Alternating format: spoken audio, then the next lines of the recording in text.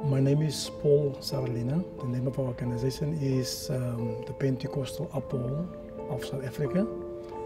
And we are serving the community of Tafels Mitchells Plain with church services and also we're doing a feeding scheme.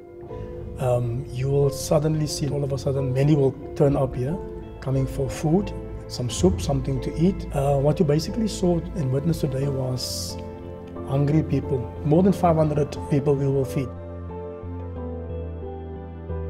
I got connected with SAFI on an exploratory trip to Israel, which I was blessed with and, and I will never forget it. We stand by Israel. What I've seen is not what the news and what you see on social media always. So what I see with my own eyes was Israel is the place, uh, you know, it's God's place. The Jews and the Christians, the connection is so strong. SAFI is really uh, supporting us.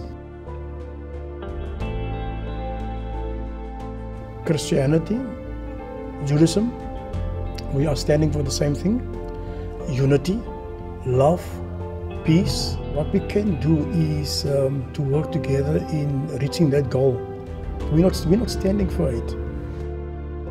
Wouldn't it be nice if everybody can just love?